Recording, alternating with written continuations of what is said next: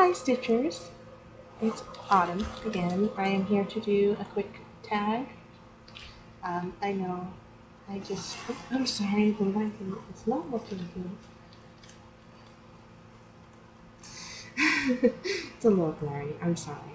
Um, it's just that time of day, but this is the best spot I have for lighting at the moment. So anyway, um, I was on FlossTube little while ago and I noticed that uh, Teresa Little put up a new tag. Well, I would like to answer her questions, so I think I have a few minutes um, before I have to make dinner. So I, would like to I would like to answer those questions. Anyway, um, I hope no one minds. I know I seem to do a lot of tags on my channel.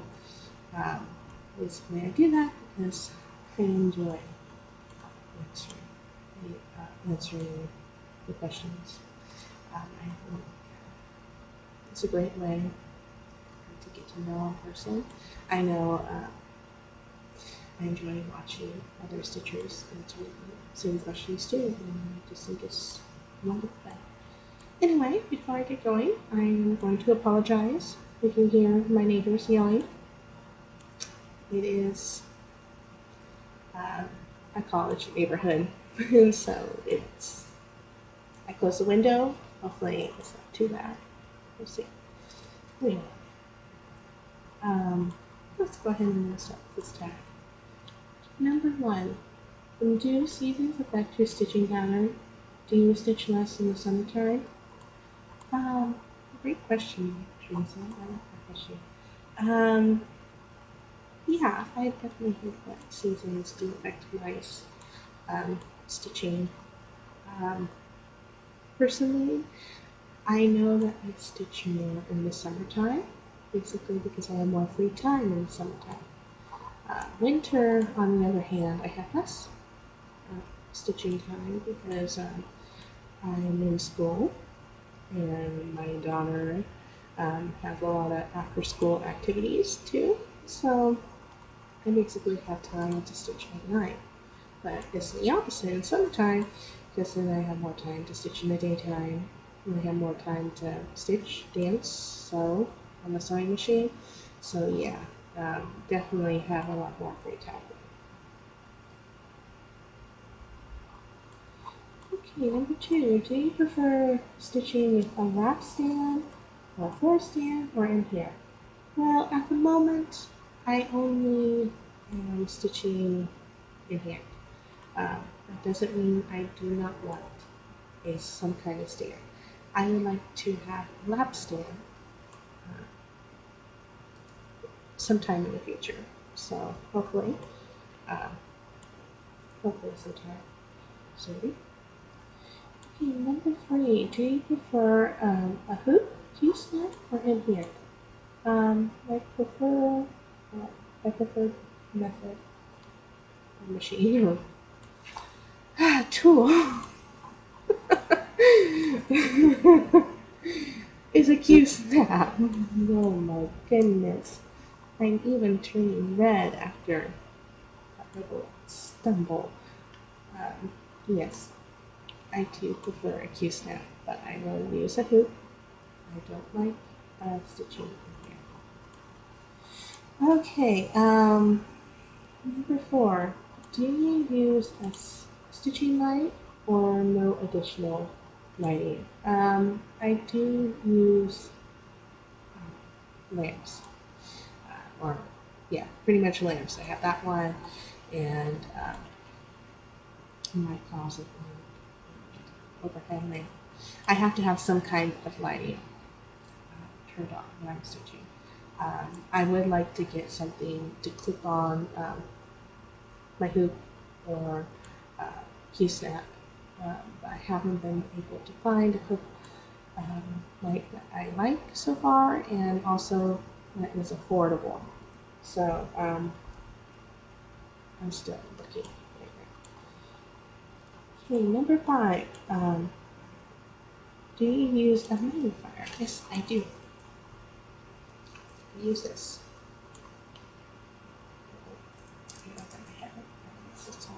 i'm able to see what I'm doing. I'm stitching. Um, so this tangled up in my hair.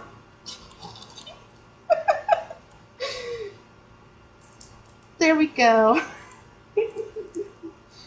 uh. But I'm not going to edit it out it's fine.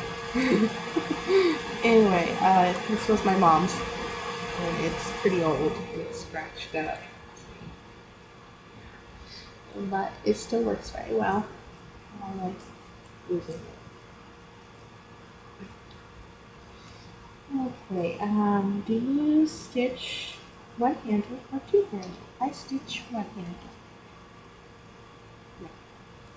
because I don't have uh, I don't have a stand. I have been attempting to to uh, stitch two-handed because I sit on the couch, eat on the coffee table, and try to prop my frame between my legs and stitch that way. But it doesn't work very well. Okay, uh, number seven. Do you prefer to stitch alone in a quiet place or around family or living area? Um, I prefer stitching in a quiet place with music going, my audiobook, television. But often that is not the case. I have my stitching spot in the living room and I have a little girl who has friends that like to come over. And I have a husband, and I have a grandmother that lives with us. So it's usually not the case. It's very busy where I'm at. So um, have people coming all the time. So yes, I'm usually stitching when there's lots of in the living room. It's usually very noisy. Okay, um, number seven. What is your preferred fabric and count? I think I've answered this question before, but I'm going to go ahead and answer it again. Um, I prefer 18 count Aida, but that's basically because I haven't worked with anything else really. Um, I do have some even weave.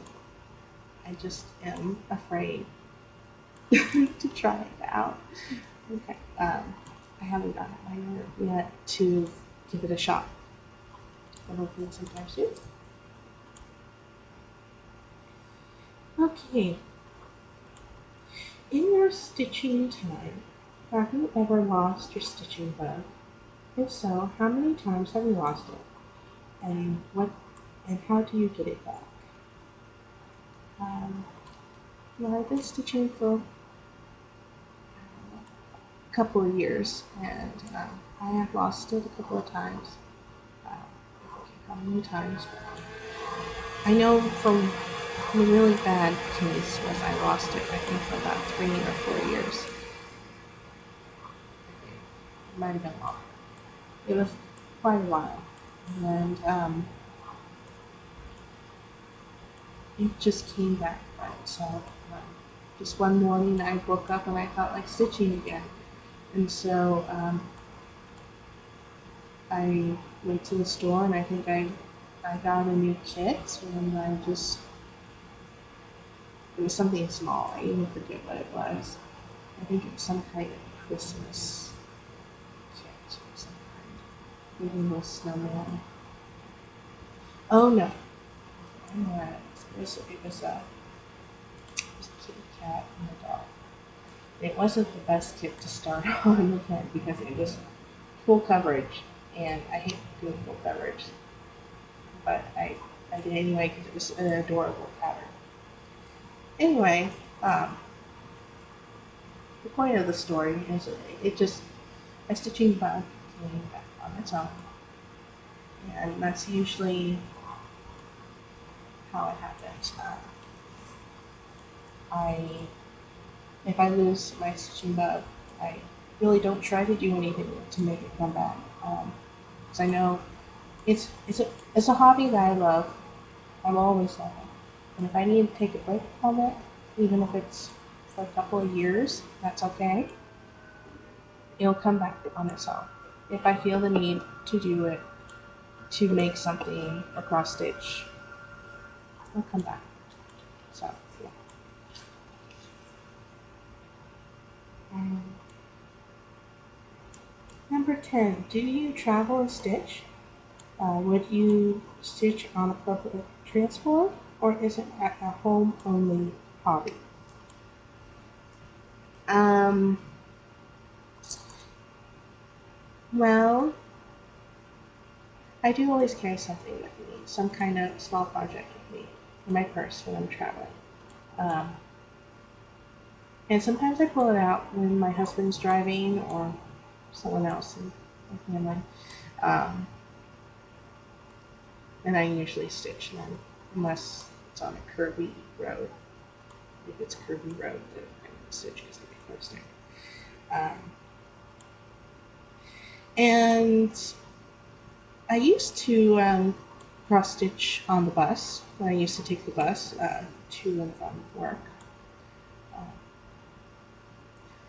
But that was a while ago, and that was that was interesting, fun to do.